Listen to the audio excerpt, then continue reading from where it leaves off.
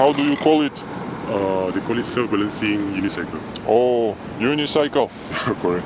Is it legal? I'm not quite sure actually.